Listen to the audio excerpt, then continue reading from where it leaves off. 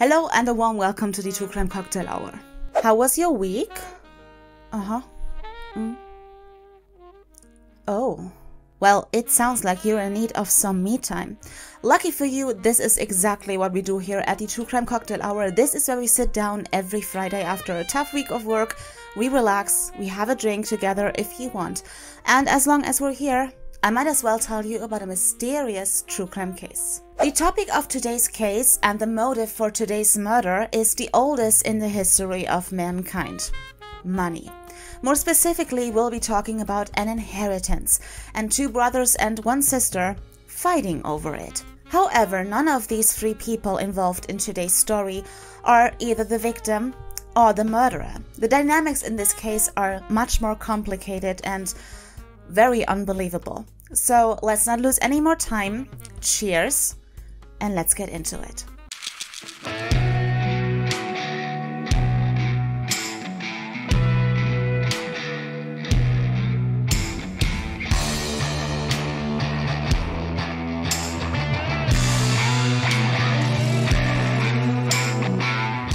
It is January 1989, and we are in the west of Germany in the city of Hanau. 30 year old Shannon Hilvers is on her way to her father's old hunting lodge. Now, Shannon, she never really cared much for hunting. However, for her family, especially for her father and her two brothers, Matthew and Eric, hunting is more than just a hobby. It's actually somewhat of a family identity. Now, let me tell you, Shannon would rather be anywhere else on the entire planet than at this haunting lodge. She didn't really have much of a choice though. She was basically summoned by her brothers Matthew and Eric to show up because they want to talk to her about their father who had recently passed. So more specifically, they want to talk to her about his inheritance. Their father was a doctor for the most part of his life, but in the second half of his life he made a fortune as the owner of a mechanical engineering company. Just to be clear, at the time of his death he owned the equivalent of 1.6 million dollars, which was now to go to his children. Now even though they are 1.6 million dollars at stake, Shannon right from the beginning didn't really expect much. Just because she knew her father very well and his medieval persona. In her father's opinion, only men were capable of managing such a large fortune, and so he left his entire fortune only to his two sons. Not Shannon, not even his damn wife. Now, inheritance law is clearly regulated here in Germany. So, contrary to Shannon's father's wishes, she would be entitled to at least a share of the inheritance. But now, her two brothers are standing in front of her at this haunting lodge, both of them several hundred thousand dollars richer, and demand Shannon she give her part of the inheritance over to their mother, because after all, this poor woman was now a widow. Not that these two ever had the idea of using their own money to support their mother. No, instead, Shannon, she should leave empty handed. So Shannon, she can't believe what she's hearing, understandably. Then on the other hand, she's not really surprised either, because this whole situation is actually just another one in a series of devious blows. It's been always like that. All the important decisions were made by her father and her two brothers. Even the father's funeral was planned and carried out by the two brothers over her head. And as a kid, as a teenager, as an adult, Shannon was never allowed to go hunting with them, even though hunting was such a big part of the family's life. At the end of the day, Shannon was nothing but a woman, and thereby at the very bottom of the family food chain. Eight years earlier, at the age of 22, Shannon met her future husband, George. Now, Shannon was smitten by George, and he turned out to be a great man and a great life partner. He had a great sense of humor. He was loving, he was supporting everything you want in a man. And so it's only natural that she wants to introduce him to her parents and her brothers. And so they set a date to get to know each other. And babe, it was a disaster. And well, it was not George's fault. He was polite and charming and he showed up with respect. But George is absolutely not interested in hunting. And so, according to them, he just does not fit into the family and he will never be part of the family, as Shannon's father made abundantly clear. But Shannon doesn't care. She loves this man. And she wants to be with him. And so they get married, they have kids, they build a life together, and they have this really happy relationship. I mean, yes, George, he was never accepted by the family, big whoop. You know, Shannon's parents and her younger brother Matthew, they had moved to Austria like years ago, so they were not even part of her life anymore, so who cares what they think. And so while the rest of her family lived in Austria, Shannon and her family, they moved into the attic apartment of the family's home in Germany. But now there's this new situation. Father's dead, and now there is this inheritance, and Shannon is supposed to give it all away. So Shannon decides to seek some legal advice, but the lawyer advises her not to sue. I mean, the litigation would probably take for fucking ever, and there was no promise of success. And so eventually, Shannon gave in, and she handed over her part of the inheritance to her mother. And so now that the father is dead and Shannon handed over her part of the inheritance over to her mother, I guess Shannon tried to again kind of reconnect with her mother. And so maybe in an attempt to make up with the mother, George and Shannon go pay her a visit. Disaster. Again. All of a sudden, Shannon's mother, she turned to George and she asked him how he was planning to support this big family with his simple, demeaning, run-of-the-mill job. To which George replies, well, Mother, that's none of your fucking business now, is it? This in turn infuriates Matthew, who was also there and had been acting like the head of the family ever since they closed the casket. So Matthew goes over to George and he demands an apology, but George refuses. But this is when Shannon's relationship with her family absolutely hit rock bottom. And apart from that, George and Shannon don't have any reason to justify or defend themselves. They actually get along very well. They support each other in any way, and George is a very hard worker. And over the last couple of years, he has worked his way up to the top to a top managing position at his firm. So they're fine. However, a couple of months later, Matthew moves back to Germany for a new job and he moves into the first floor apartment of the family house in Hanau meaning he was now living under the same roof as Shannon and her family. Legally speaking, that made it even worse. The house belonged to him. The mood changed. So, example, one day Shannon left groceries in the hallway because they were so heavy she couldn't carry them up all by herself. And so Matthew, he just took the groceries and just threw them out in the streets. And then one day, like the rabbits or bunnies of Shannon's kids, they were just lying dead in the garden because this set his hunting dogs on them. And then finally, Matthew gives Shannon and her family notice to move out. Dickhead.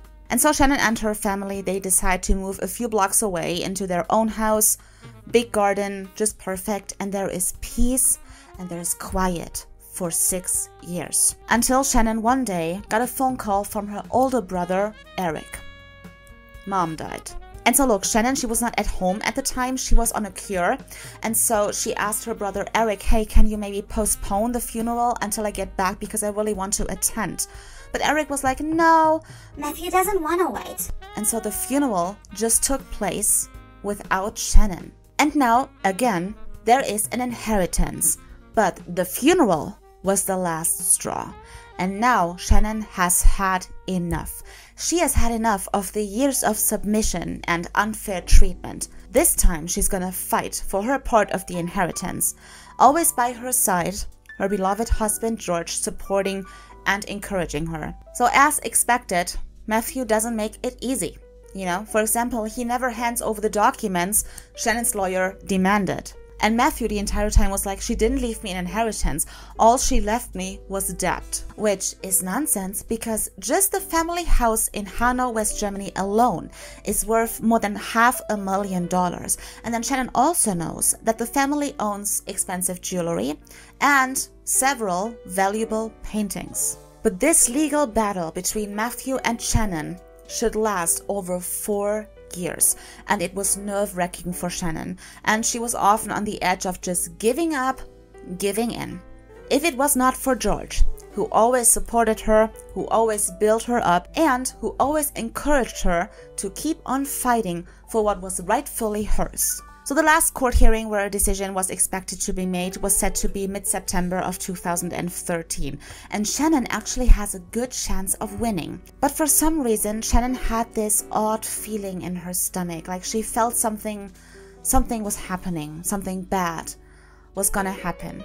And unfortunately, Shannon should be right when the 7th of September 2013 came along. And so it is half past 10 in the evening at the family's home. Now they have this recessed window glass in the wooden front door. This is an important detail, okay? So if the light is on in the living room, you can see from the outside if someone in the house is standing right behind the front door, okay? Remember that. So anyway, Shannon and the kids, they already went to bed. You know, it's been a long day. But George, he wanted to stay up a little bit longer and watch TV. But eventually he too felt tired and he fell asleep in front of the television. But George wakes up again shortly before midnight. Someone had knocked on the door. Now George, he doesn't think much of it. His eldest son, he had gone out to the street fest and he probably just forgot his keys. And so George, he gets up and he walks to the wooden front door and he opens it just a crack when suddenly shots are fired.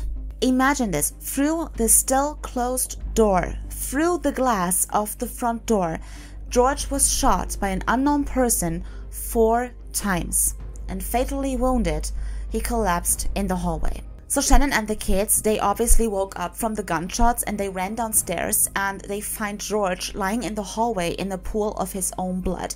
And Shannon went into full-blown panic mode, understandably. And she just yelled to her kids, go get me some towels, get me some towels, because she just, she was just trying to stop the bleeding.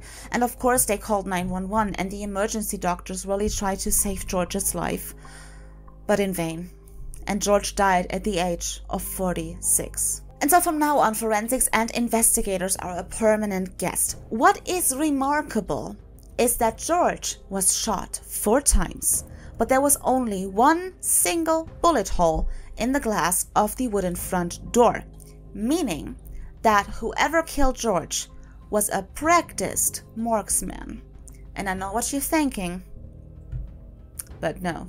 So when Shannon was questioned, she explained that George actually had no enemies. I mean, yes, there was this dispute between her and her brother Matthew, but George actually didn't really have much to do with it all. I mean, he was just supporting. And yes, Shannon explained to investigators that her brother was indeed a moron, but that she never considered him to be capable of murder. However, Matthew was actually arrested a couple of days later for suspicion of murder. Now, Matthew didn't live in the family house in Germany anymore. He had moved to Austria again, but at the time of the murder, he was in Germany visiting his girlfriend, and his girlfriend lived merely 60 miles away from Shannon. However, Matthew claimed he had an alibi. At the time of the murder, he was at his girlfriend's place looking after her children because she wanted to go out that evening and his girlfriend Mary Ann confirmed his alibi. And even after searching his house in Austria and her apartment in Germany, nothing really turned up that would connect him to the crime, and eventually Matthew was released. Now, mind you, the legal dispute over the inheritance still went on,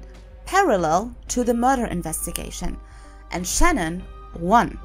But Matthew appealed, saying that he would not pay her anything because she accused him of murder and that would make them even. And so three years go by.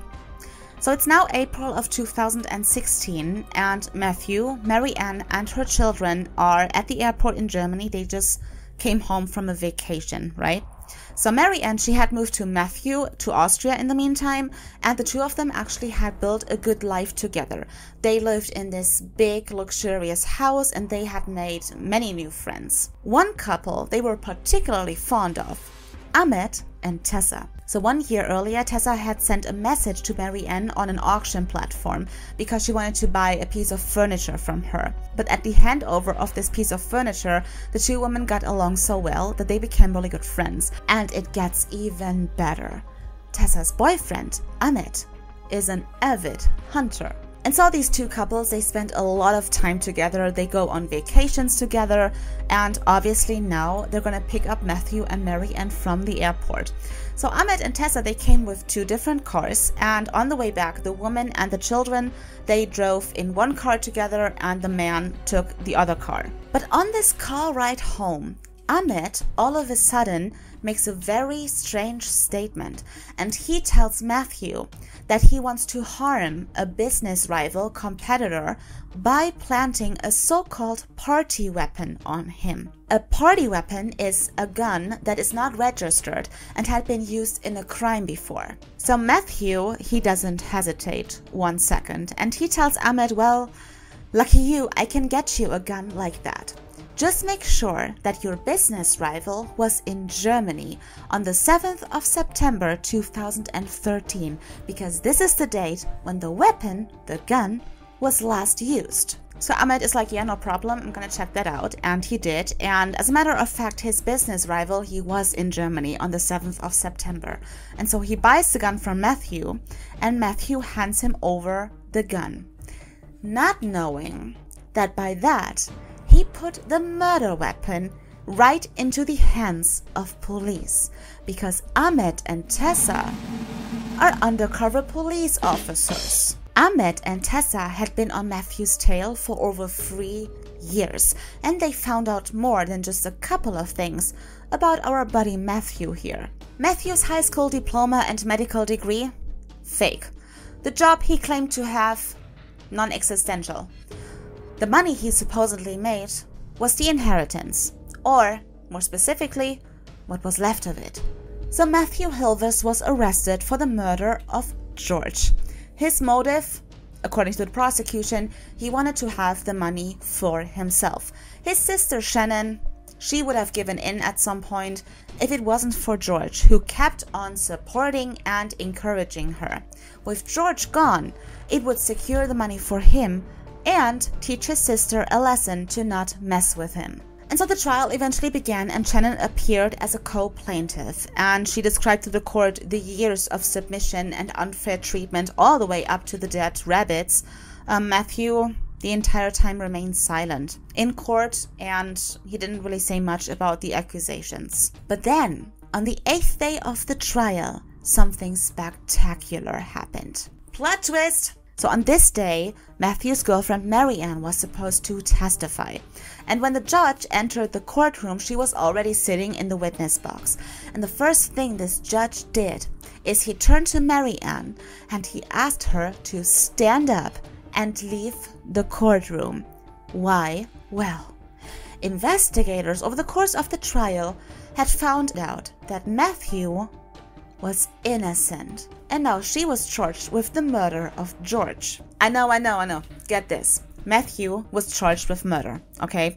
But he said he had an alibi, you know, watching Marianne's kids. Marianne confirmed this. And so investigators thought, okay, hmm, maybe it's not really good for the prosecution. Maybe we should look in on that a little bit more. And so they checked the phone data of Marianne and Matthew. Marianne told investigators that she was out with a friend that night, and this friend confirmed this. He said that they were together the main course of the evening, all the way up to 2 a.m. in the morning, right? Mary Ann said that they had gone to a concert together, which turned out to be true, but they didn't arrive at this concert, as the phone data showed, until half past midnight. Mary Ann's phone was turned off before the concert. However, she forgot about her friend's phone and it was turned on. And not only that, before the concert, this phone was locked in near the crime scene at the time of the murder. Also, Ahmed and Tessa, the undercover police officers, they spoke in court. And apparently Matthew and Marianne had talked about the murder quite often. And surprisingly, they also knew what kind of gun was used to kill George, even though this hot little detail was never made public. Also, Matthew and Marianne, they gossiped quite a lot and spoke very ill and very badly of George, especially Matthew. And to Ahmed and Tessa, it kind of seemed like the hatred had spread over to Mary Ann, even though she never met the guy. And she was not happy when she found out that her boyfriend Matthew over here had squandered the entire inheritance, and that Shannon had a very good chance of winning in court over her share of the inheritance. So if Matthew would really have to pay her out, he would have to sell the house in Austria they both shared and both owned to pay Shannon out. She couldn't let that happen. And so Mary Ann came up with a plan. And for months, she pressured Matthew into teaching her how to shoot a gun. And Matthew was so flattered because he thought that she was only like showing interest in his hobbies. And so on the 7th of September 2013, Mary Ann had her friend drive her all the way up to Hanau. She then told her friend to park the car in an unconspicuous side street and wait there for her because she, quote, had to take care of something. Matthew, in fact, sat at home and was watching her kids. Only when he heard about George's murder, he put two and two together. He did not know what she was planning, what she was up to. He was not involved. And so the court concluded that Mary Ann in fact acted alone and that Matthew was not involved in the murder, at least not directly. He was still charged with accessory to murder and sentenced to nine years in prison. I mean, he had given her the gun, he had showed her how to shoot a gun, and he had spread the hatred. Mary Ann was sentenced to life imprisonment. Poor Shannon again left empty handed. Matthew never paid her anything because he simply couldn't. And not only that, but now her husband was dead and she had to raise four kids on her own. What the fuck? And so, on behalf of the entire true crime community, Matthew, hunt dogs. I need to calm down. Okay, thank you so much for hanging out with me today. Let me know what you think down below. Also give this video a thumbs up and hit that subscribe button. Shows me that you enjoy what I do and I get excited every time. I think it's so cool. What else? Uh, oh yeah, if you don't have any plans next Friday, why don't you meet me here for another cocktail and of course, another mysterious true crime case. Thank you so much for your support. Mommy loves you.